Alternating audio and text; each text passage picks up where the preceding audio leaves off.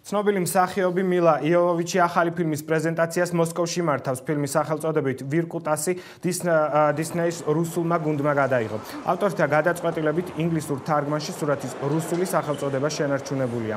კინოსურათი რუსეთის ერთ-ერთ პატარა ქალაქში მცხოვრებ მამაკაცზე მოგვითხრობს, რომელსაც მოსკოველი ლამაზმანი შეუყვარდება. მილა იოვოვიჩი ლამაზმანის როლს ასახიერებს ფილმის რეჟისორი ლევან გაბრიაძეა. That's a.